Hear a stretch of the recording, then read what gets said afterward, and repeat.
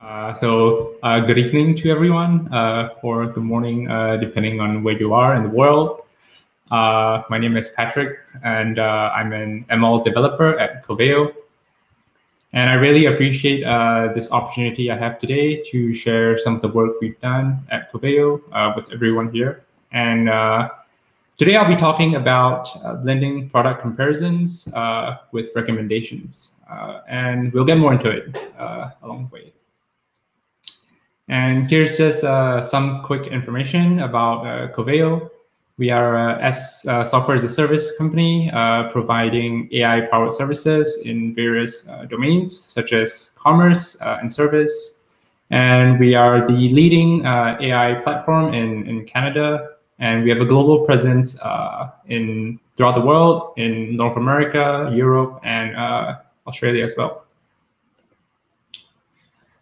And before I begin, I also like to give thanks to uh, my collaborators, uh, Jacopo and Christine, uh, who've like pretty much worked through with me uh, in, in, this project.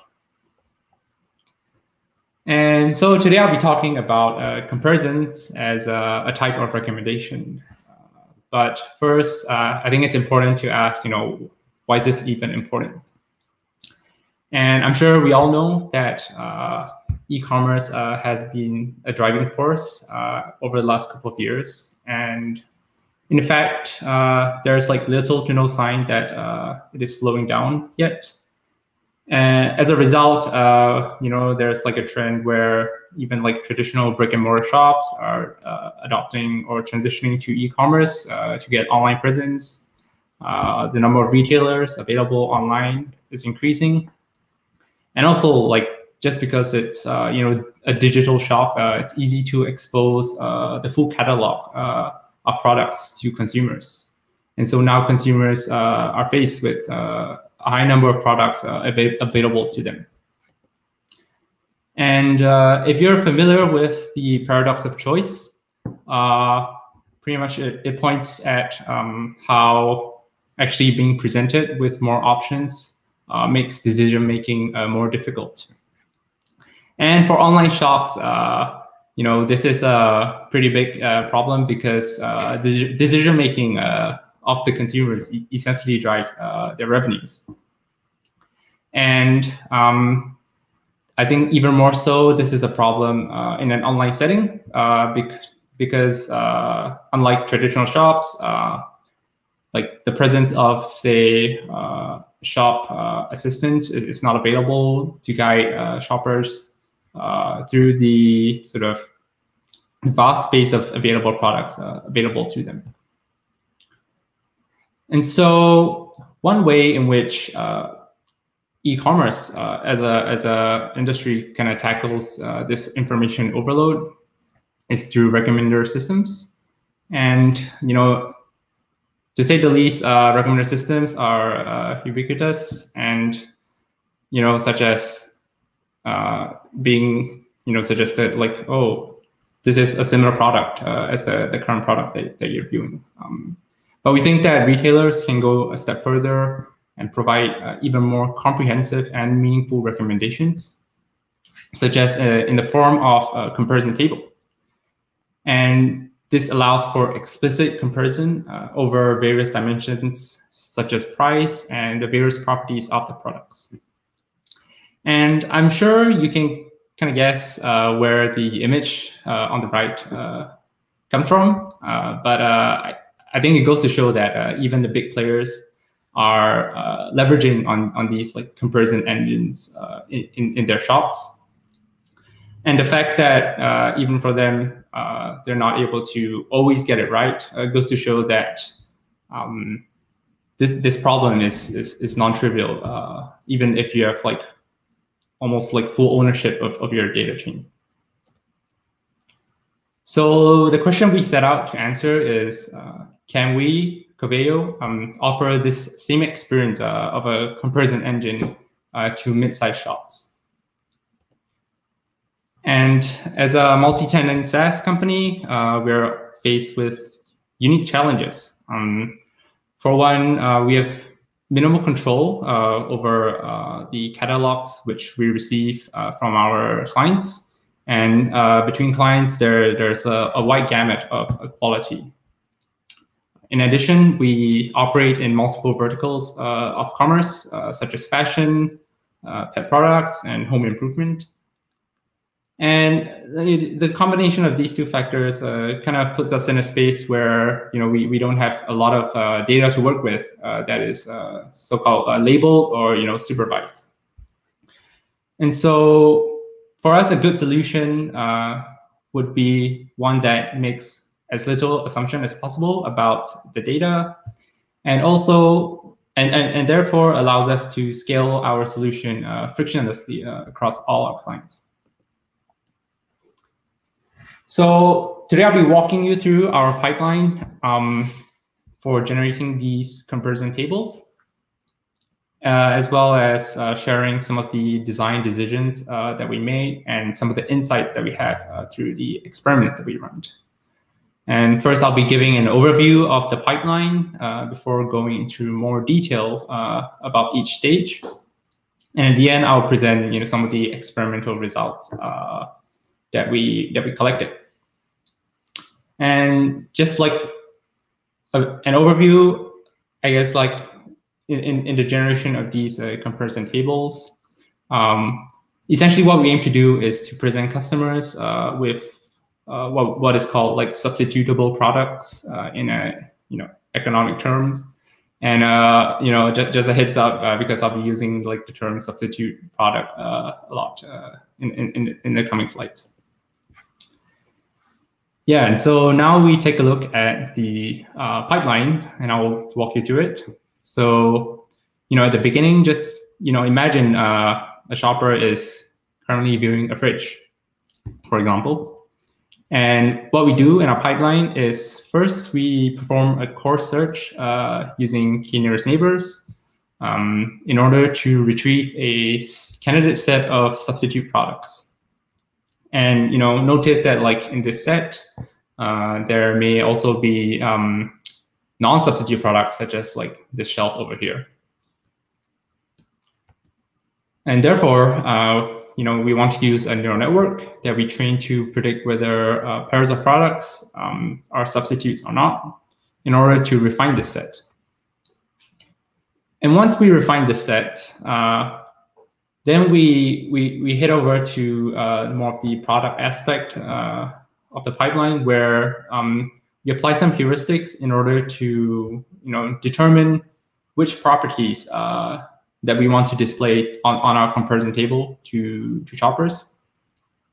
And once we, we pick those properties, um, then we want to sample from the set of available uh, substitutes uh, you know, to construct a good representation uh, of the space of available products uh, to the shopper. So, you know, diving into the various stages, um, the first step, we have the fast retrieval step, uh, where we have this uh, product space, uh, which is which we build uh, in an unsupervised manner.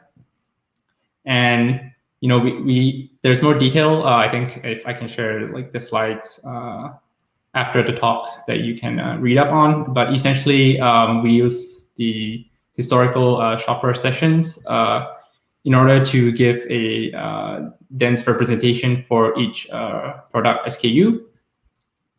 And we use k-nearest neighbors in this uh, product space to retrieve candidates. And by the kind of how, how it how it is trained, um, products uh, in this space are already very likely to be substitutes. But uh, at the same time, uh, we we we are aware that you know there there's there is there are going to be like non-substitutes in this step. Uh, but um, for us, the, the, the focus is on recall, and you know the fact that uh, this step is very cheap for us to compute. Uh, and therefore, we, we head over to the next step, whereby we want to do like a more fine grained filtering where we take uh, this candidate set and use a neural network to predict whether uh, you know the, the products are substitutes or not. But um, you know, I think in machine learning today, uh, it's fair to say that uh, you're only as good as your data. And as alluded to earlier, uh, we are sort of in a regime where uh, we do not have much uh, labeled data uh, available at, at, our disposal. And so, you know, I'll, I'll, be, you know, going into a bit more detail as to how we built uh, an unsupervised uh, data set for training this classifier.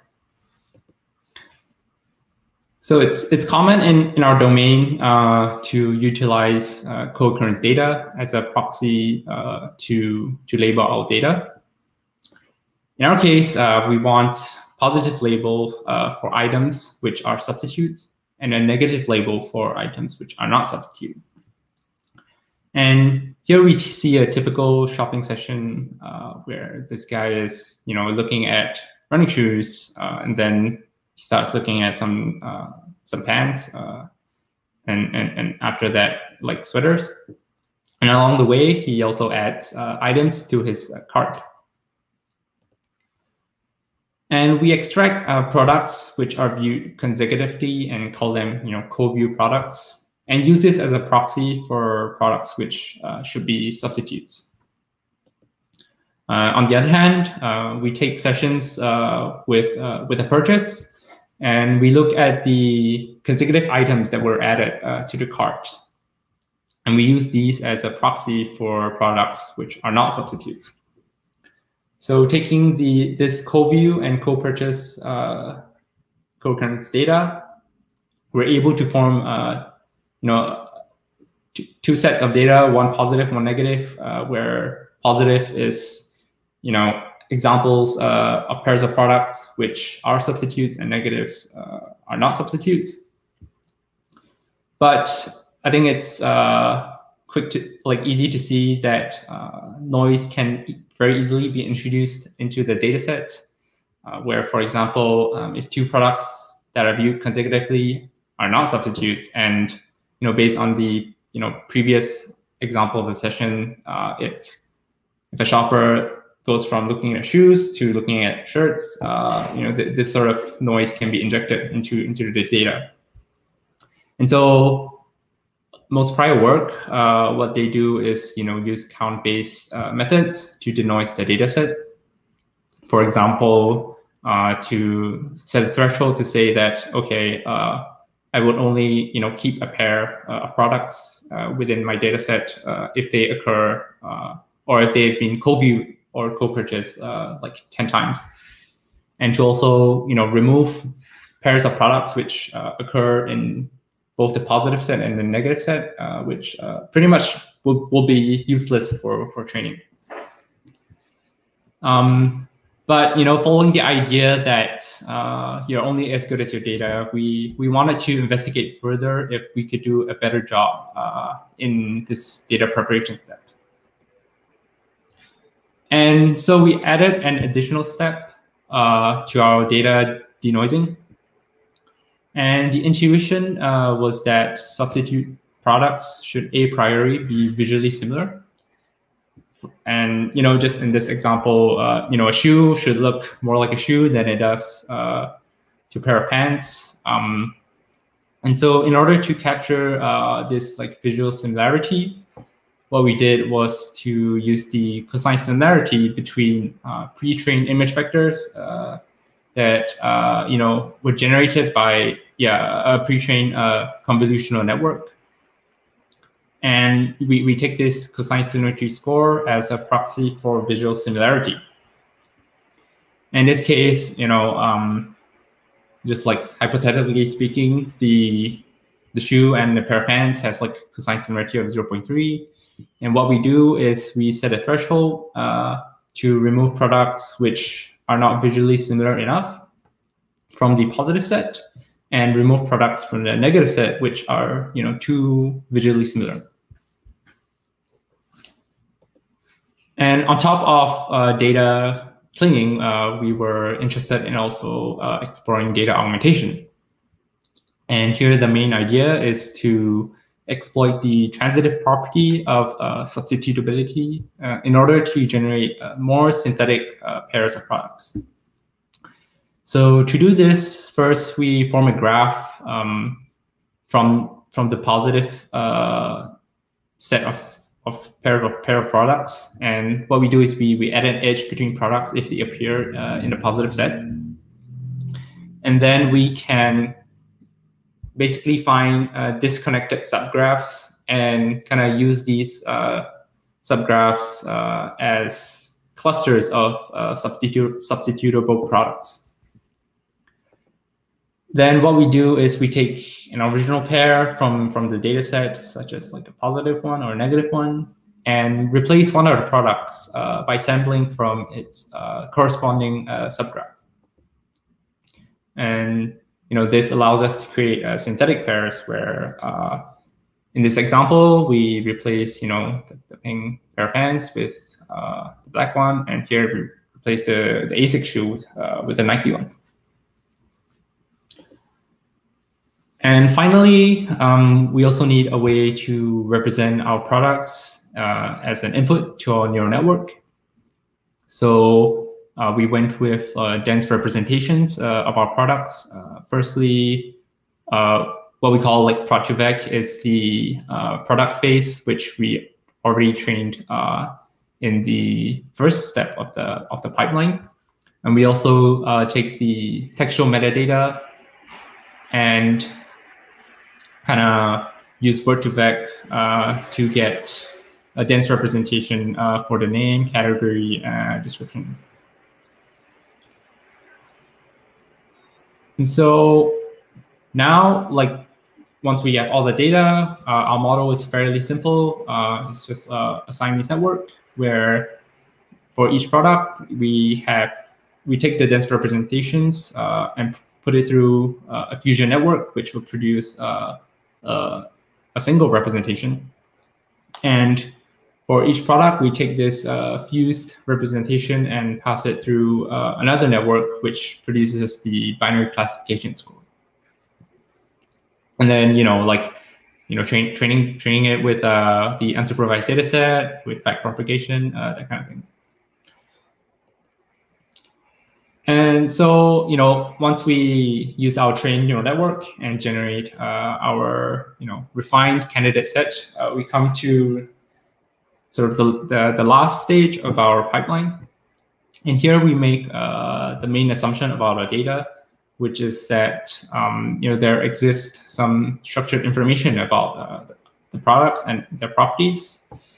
And while, you know, such information is not um, uniform, uh, across uh, different verticals. We, we find it to be more common in DIY and electronics, where products uh, tend to be more technical.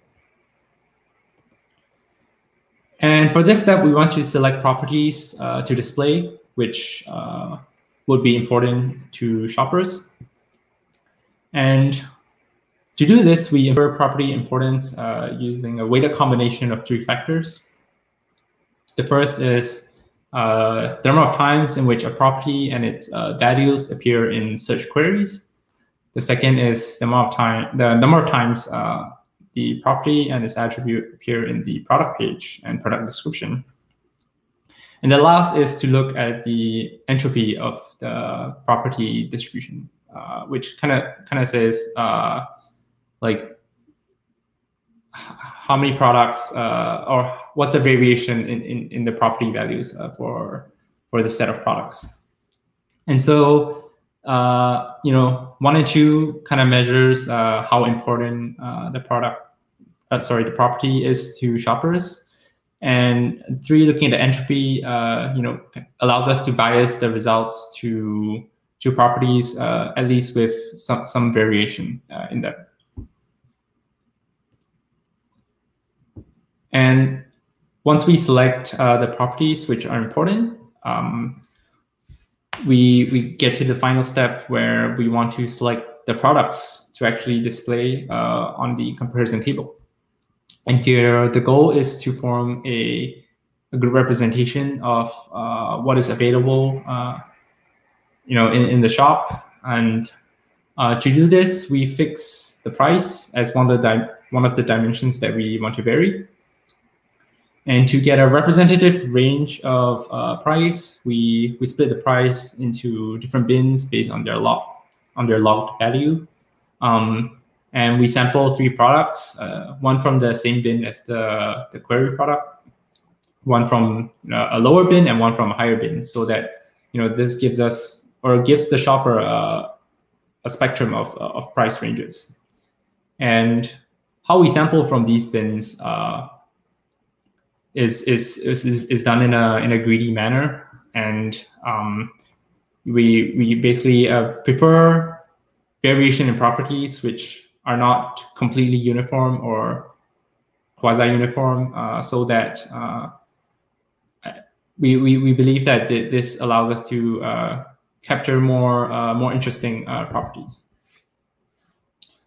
And yeah, so like once we sample the products uh, from these bins, we are able to construct the final comparison table.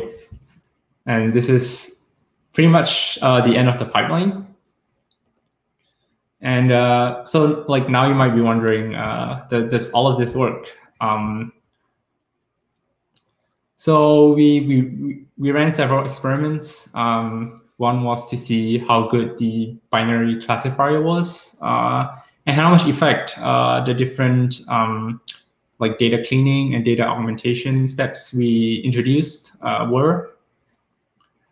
And we, we tested on two different shops. And here our focus is mainly uh, on precision uh, because ultimately we, we you know, uh, we, we don't want to like show shoppers uh, a product which is not a substitute or generate a compar comparison table which uh, has like non-substitutes uh, in them. And as a baseline, we take the cosine similarity of images uh, as the binary classification score. And what we found is that you know cleaning with the data, uh, sorry, cleaning the data with the image vectors uh, was, you know, the the most uh, significant contributor to uh, the performance, and we can see this over here in in in the in the PR curve for Shop A, where you know over this region uh, of recall, uh, we see about like a seven to ten point increase in precision, um, where you know these lines are so the purple line is uh, the baseline, and these other two lines are when we did not uh, perform a cleaning of the data. And whereas like these two lines on top uh, were, were when when we did clean uh, like the extra cleaning step. Um, but we also noticed that the performance boost kind of varies between shops. Uh, you can see here in shop A, shop B, um, that there is still like an increase in in, in performance, although uh, less pronounced. And uh, you know, looking at the baseline performance for shop B, uh, which like uh, just to remind you is the cosine similarity of the pre-trained image vectors. It sort of like gives us a hint as to why uh, maybe we, we do not see such a significant boost uh, in performance. And we can kind of like hypothesize uh, two possible reasons. Uh, first could be that uh, you know the assumption that we make about like a priori visual similarity does not really hold well for shot B, which is in the home improvement vertical. Or it could also be that um, these pre-trained image vectors uh, are not as effective or fine-tuned to to this uh, specific vertical vertical, and therefore uh, our like kind of cleaning uh, cleaning step uh, is, is not as effective. Um, another thing which we uh, wanted to like study or explore uh, was whether or not our our ranking of uh, property importance aligned aligned well with humans. So we ran a small user study on Mechanical Turk, and the results generally show that uh, our algorithm has better agreement for uh, products um, which are more popular and common, and less so for uh, extremely technical products like skis. Um, but it's interesting to note, uh, you know, here that like running shoes had the highest uh, uh, similarity in ranking, and you know, we believe that perhaps this is because uh, like running shoes is at an intersection where it is, you know, commonly known and therefore um, crowd workers are able to give good responses and at the same time uh, has like properties which are technical enough uh, such that uh, there actually exists uh, a strong a strong order, ordering in, in, in these like property uh, importance. But uh, definitely we we acknowledge that like this is still kind of preliminary uh, as a study, and we're kind of looking forward to being able to test this pipeline in an online setting and you know me me measure you know statistical uh, differences. And just to give uh, an example, uh, our real examples generated by our pipeline, uh, we, we built like a mock UI API. And here we, can see uh, like reasonable like proposals by our pipeline, which is completely uh, unsupervised. and yeah, I, I think like looking at uh, these like ski boots, uh, I think we can appreciate how like for more technical products, uh, these uh, comparison tables can really help. And that kind of brings me uh, to, to like the end of uh, the pipeline overview and, um, you know, just like looking forward uh, into, you know, next steps. Uh, like I said, we're excited to perform uh, online experimentation uh, of this pipeline. We're also looking as a as a team more in like human in the loop machine learning, and I guess with regards to like the binary model itself, I think kind of the results show that uh, there is some uh, room for some self-supervised uh, fine-tuning to different verticals as well. Yep, and you know, uh, if you're interested to find out more uh, about Coveo and uh, what we're doing uh, at the AI Labs, uh, we have a blog available, and we're also um, kind of like my colleagues have published extensively uh, in various conferences, academic conferences.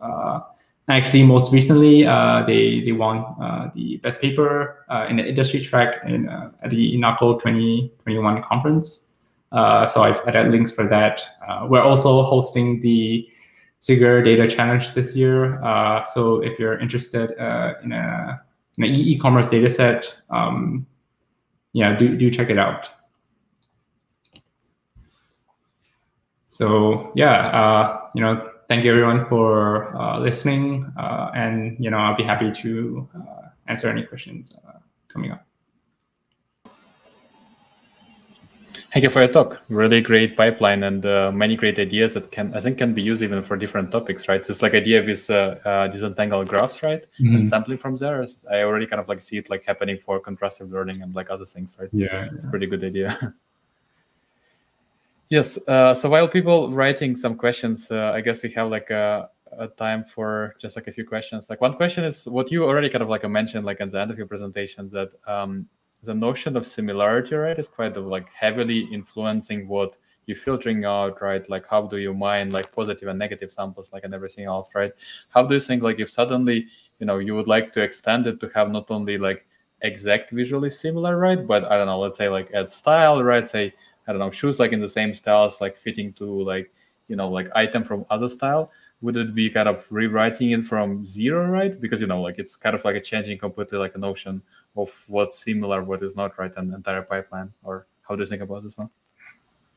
Uh, so I think it is possible um, to do some like, uh, sorry, like just to clarify, like your question, are you saying that like maybe this person is like looking at boots, uh, mm-hmm. and then uh, you know like like maybe like high boots, although like he only wants to look at like you know like exactly yeah, yeah. So you have i don't know some like a style i don't know smart casual for example right or classic right? And you would like to see the items that belongs to a different categories right? But they still have like this notion of similarity that oh. are similar. You know what I mean? So it's not really shoes that look exactly the same, right? But basically something that for the human is similar, right? But for your approach is going to be completely like you know orthogonal to each other, right? Oh, okay. So do you mean similar like style, like yeah, you know, like the whole like outfit? Yeah. Uh, okay. Yeah. Yeah. I mean, de- definitely. I think like uh, our pipeline uh, isn't it isn't really like targeted uh, towards this. Uh, like I, I do agree. Like that is uh, sort of like a different form of like recommendation uh, that we're, we're also seeing uh, where um, like shops are proposing that like oh you buy this you can kind of like match it with like these uh, or something else. Yeah. I, I, I, yeah, I think that there are some work uh, which try to tackle this like yeah. stylistic uh, similarity. Nice, nice. And another question. So you, I guess you mentioned it like with the furniture, right? I'm not sure uh, if you uh, validated like with the backgrounds, right? Because I can imagine for like many of uh, very fashion items, right? They're like always. I mean, most of the time, times gonna have like very white backgrounds, right? And you're only picking up like this similarity of the item itself, right? And for furniture, in many cases, it's going to be like more surrounding of the room, right? Did you consider look kind of like this one to be like a factor of uh, what your uh, feature extractor from uh, image side going to be picking up like on these images? Because it's going to be like completely not mm-hmm. related, right?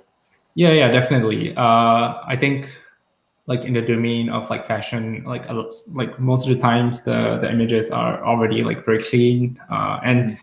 like you know, like the form factor of a shirt uh, can't vary that much. But uh, like if, if you look like at a table, it, it, it, there there are like a wide range of like possible like configurations uh, mm. to to to kind of like have an image for a, for a table or like a shelf. And so I think uh, for I think for for these like verticals, uh, it's worth like exploring uh, some like self-supervised methods uh, to fine tune uh, where like I think you alluded to like you know contrastive learning that kind of thing where uh, you know I think there's some work uh, in the past year where you you, you kind of only need like positive sample uh, and you know rely on like data augmentation uh, in order mm-hmm. to kind of build better rep- representations